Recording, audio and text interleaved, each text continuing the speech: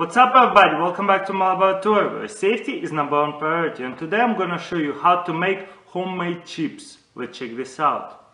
We're going to grab a small piece of a wax paper, lay it down on the table, then we're gonna grab a potato, cut it in half, then we got this slicer, be careful, don't cut yourself, and then set a potato and then grab one of this.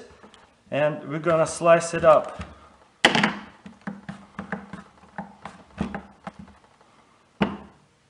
First we're gonna put bunch of oil on a plate and then we wanna spread it around all over the plate so this way the chips not gonna get stuck. Then we're gonna grab our potatoes and lay them down. Then I'm going to season it with salt and pepper. Then we're going to put it in the microwave and set it for 3 minutes. It should take 3 or 4 minutes. Now look at these potato chips. Look at them. Just throw them over over there and you got it. Look how nice they are and crisp.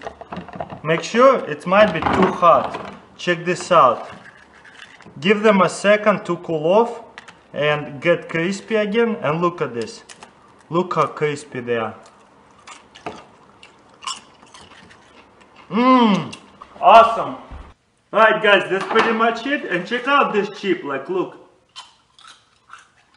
Very crunchy and very delicious. Mmm, amazing. I'm gonna do them a lot.